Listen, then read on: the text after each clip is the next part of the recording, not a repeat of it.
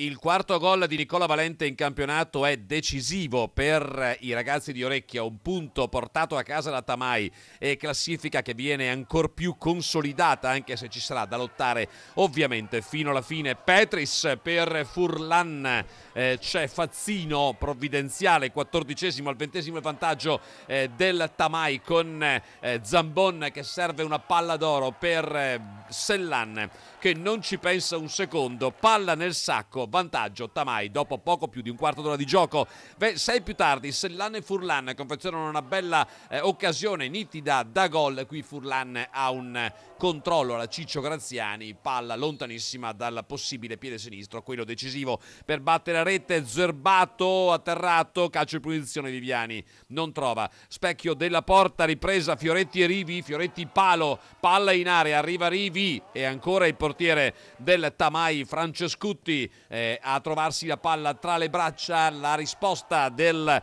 Tamai, 26esimo, è nella palla del 2-0 che il numero 10 Zambon ha davanti a, alla porta del portiere Fazzino. Spreca così, come avete visto ancora. Legnago però con Longato, servito bene da Fioretti, il sinistro è debole, poi calcio d'angolo, Zerbato, tre soldi e Friggi con non è Friggi che ha palla buona lì secondo palo palla alta sopra la traversa per il capitano dell'Egnago. 49 di gioco ma non è finita. Nicola Valente si procura prima un calcio di punizione, poi lo batte alla sua maniera per l'1-1 finale, credo giustificatissime eh, le esultanze a fine gara dei ragazzi dell'Egnago. 1-1 Tamai.